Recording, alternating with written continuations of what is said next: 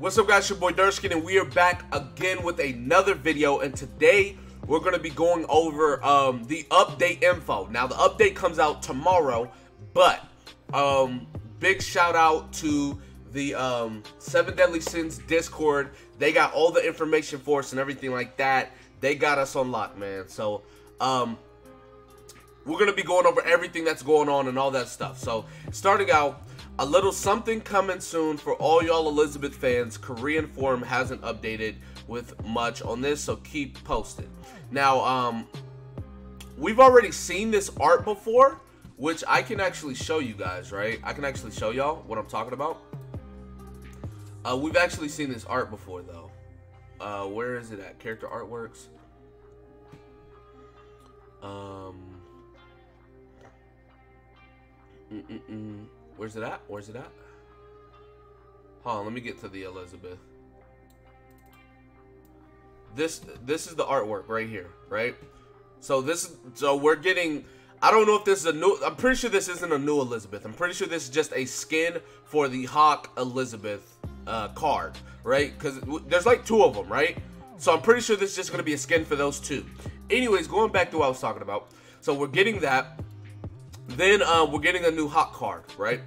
Um, first skill attacks one enemy with 450% of attack and deals additional 30% per buff on Elizabeth.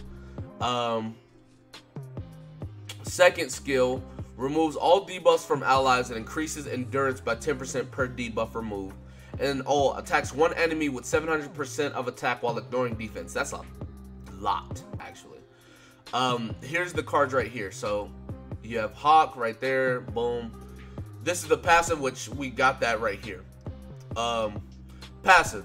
Allied HP increases by 10% for each debuff effect on the character. That's pretty good. Um, moving on. Also, tomorrow's maintenance will include the later half of Chapter 6, okay? Uh, this update adds new chapters you've been looking forward to at the same time as new characters are released. The maximum number of player ranks is increased to 55. That's really good because I'm actually max level. Max level right now is 50. I'm level 50. I'm pretty happy. They're gonna release. They're gonna uh, increase it to 55. I'm just gonna max out my uh, account again, so that's fine. Um, but the new login, guys. On the first day, we get an SSR ticket. Boys. 712, 5 diamonds.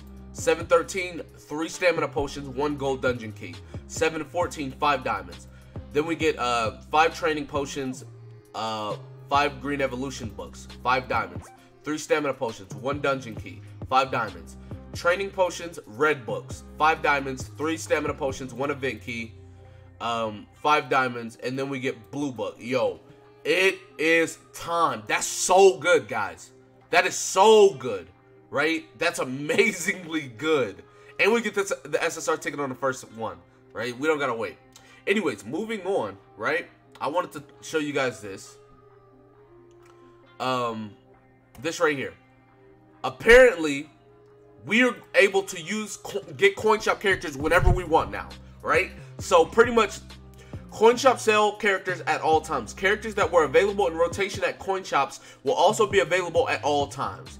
If you want to buy a character that's on sale at all times, you can buy it with 7 platinum coins. Rotation is also sold. If you want to buy a character from rotation, you can buy it with five platinum coins as before. Now, what that what they're talking about, right? What they mean is um here. Let me let me show you. I was actually grinding some stuff right now. Uh, move this down real quick.